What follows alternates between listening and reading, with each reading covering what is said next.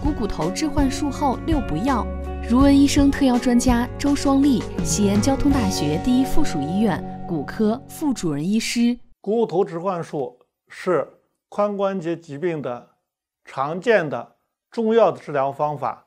股骨头置换术后呢，常说的六不要是很关键的，非常利于康复。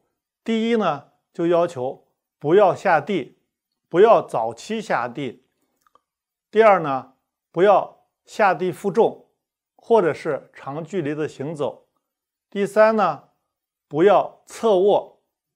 第四呢，不要盘腿。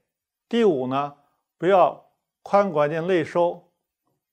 第六呢，是不要外旋。这样子呢，防止伤口的裂开，或者是防止股骨头的早期脱位。注意事项呢非常多，这六不要是最基本的。当然了，术后早期呢要注意伤口的情况，比如说早期伤口的出血、早期伤口的疼痛、早期它的活动，或者是其他的一些问题，相应的要注意防护它血栓的形成、压疮的形成，或者是它消化功能的恢复，还有其他一些。比如呼吸道的、消化道的一些并发症。